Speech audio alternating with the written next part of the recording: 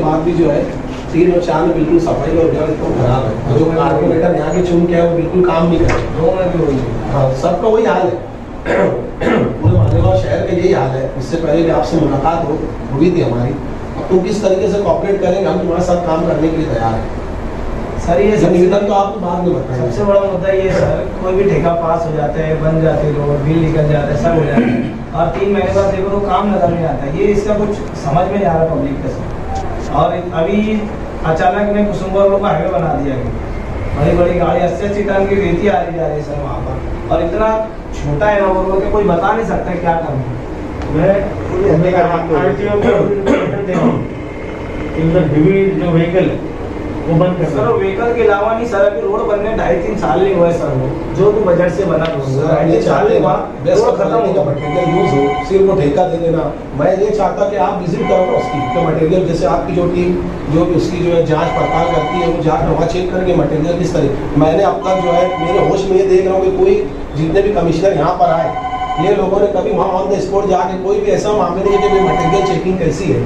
उसके बाद तुम यहाँ के हॉस्पिटल ले लो, वाडिया के अंदर। अभी इससे पहले भी आपको एक निवेदन दिए थे। सर, मसला ऐसा है कुसुम्बा रोड का।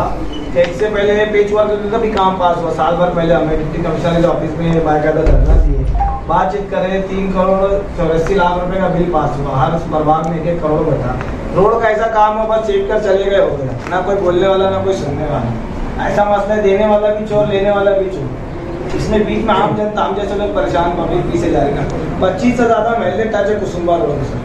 पच्चीस से ज़्यादा महिला टच होने के बाद भी कुसुम्बा रोड की इस कदर हालत खराब है कि आप कुसुम्बा रोड में आइए एक ट्रक आई ना तो सबको रुकना पड़ता है। अगर एक ट्रक। रुकी ना सर तो एक किलोमीटर तक के जाम लगता है।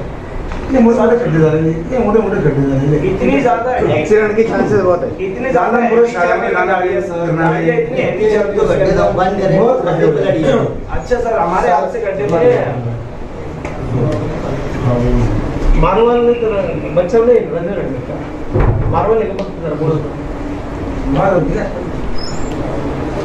सर ये हम लोगों का ट्रस्ट है यानी पार्टी भी बोल सकते हैं इसको मालेगांव डेवलपमेंट पार्टी ये सर सच्चाई हर सब एजुकेटेड लोग हैं। यानी पढ़े लिखे हुए लोग जहाँ पे काम करना है हम आपके साथ हैं। अगर आपको कहीं से प्रेशर कुछ भी होता है हम तुम्हारे साथ खड़े हैं। लेकिन मालेगांव शहर बदलना चाहिए हम एक सोच लेकर निकले। अच्छा। अभी जितने करप्टेड लोग हैं उनके अगेंस्ट हम काम करेंगे। अच्छा जो बोल रहे हैं सर आप चले जाएँगे। हम खुद अगर आप हमारे साथ रहे तो हम खुद जाने नहीं देंगे आपको यहाँ से। ठीक है चाहते हैं हम लोग का डोला वो मान लेगा मगर अभी बड़ी बड़ी गाड़ियाँ वहाँ पे चल रही है कुछ हादसा हो गया इतनी कम जगह दिन में दिन में लोगों को परमिशन कैसे दे दिया गया कि इतनी पब्लिक के बीच में गाड़ी थी ऐसे हेवी ट्रांसपोर्ट का जो व्हीकल्स का टाइम अलग है। महाराष्ट्र के बाद भी ज़्यादा गाड़ियाँ चल रही हैं वहाँ सर मसाइल इतने ज़्यादा है मालेगांव शहर में ये तो अभी एक मुद्दा कंटिन्यूसली हम उसमें काम करते रहेंगे। मसाइल का मसाइलों का अंबार है। मेन मेन रोड है बस दिन आप जब आए थे तो हम ये उम्मीद लगाए कि आप भी जो उस तरीके से लेकिन साफ़ सफ़ाई को लेकर बिल्कुल मालेगांव शहर में कोई भी काम नहीं। है उनके पास गाड़ी नहीं रहती। अरे पच्चीस दिन आप वो गंगोले साहब को लगाओ पच्चीस दिन से प्रभाग नंबर तीन का जीसीबी खराब है। अब तक बना नहीं वो रिकॉर्ड भी रिकॉर्ड लाए हैं।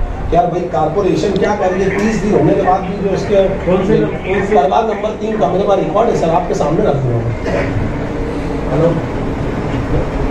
बच्चा सबको तो बाहेर?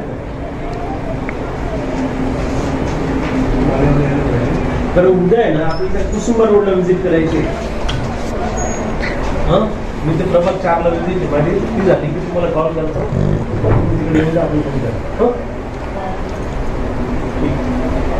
सर, एक अच्छा प्लेटफॉर्म चलने के लिए आप हमारी ज़रूरत